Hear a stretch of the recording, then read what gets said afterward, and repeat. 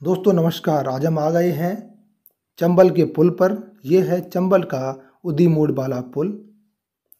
इस पुल पर इतना ज़्यादा प्रेशर है कि ये पुल हर साल ज़रूर मेंटेनेंस पर आ जाता है, क्योंकि आसपास कोई पुल ही नहीं है, क्योंकि आपने देखा होगा एक पुल उधर आगरा की तरफ़ है और दूसरा पुल यहाँ पर है।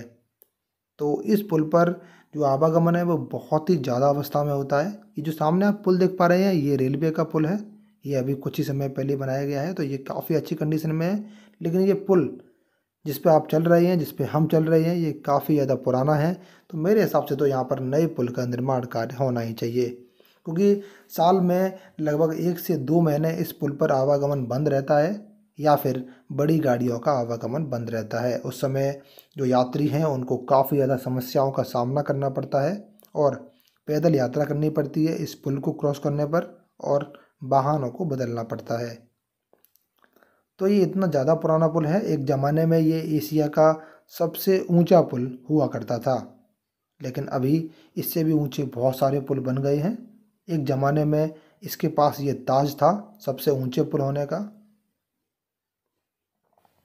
तो दोस्तों, अभी हम यात्रा कर रहे हैं भिंड से उदी मोड़ की तरफ़।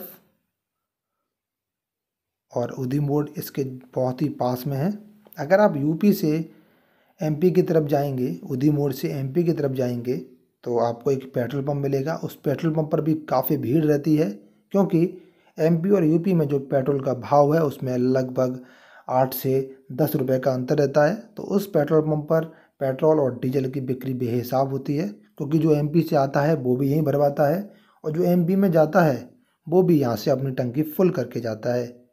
उसके बाद आता है पुल। तो हम उसी पुल के ऊपर से होके गुजर रहे हैं। काफ़ी पुराना पुल है और काफ़ी इसने सपोर्ट किया है इस क्षेत्र को। और नीचे है ये विशाल का चंबल नदी, चंबल सेंचुरी, जिसमें घड़ियाल, एलिगेटर और टर्टल को पाला गया है।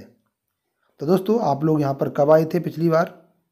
हमें कमेंट बॉक्स में ज़रूर बताएँ। और आपको वीडियो कैसा लगा? अगर वीडियो पसंद आई है तो वीडियो को लाइक और चैनल को सब्सक्राइब करना भी बिल्कुल मत भूलिए। अगर आप यहाँ आए हैं तो क्या आपने जैन मंदिर के दर्शन किए हैं? वो भी हमें कमेंट बॉक्स में ज़रूर बताएँ। बाकी ये जो रोड है, इसकी हालत इतनी ज़्यादा ख़राब है, इतनी ज़्यादा ख़राब है कि क्या कहने, यहाँ पर ट्रक और डंपर गिट्टी से भरे हुए इतने ज़्यादा निकलते हैं कि इस रोड की जो हालत है, वो बिल्कुल नाजुक हो चुकी है। तो इस रोड की हालत इतनी नाजुक है कि यहाँ पर छोटी गाड़ी और बाइक से और स्कूटी से निकलना तो बहुत मुश्किल हो जाता है। ये जो सामने आप मंदिर देख पा रहे हैं, ये विशाल का है और खूबसूरत जैन मंदिर है। यहाँ पर अक्सर भक्तों की भीड़ लगी रहती है। तो दोस्तों, अभी हम एमपी क्रॉस करके और चंबल क्रॉस करके यूपी में आ गए हैं। बाकी रोड का हाल तो आपको दिख ही रहा होगा।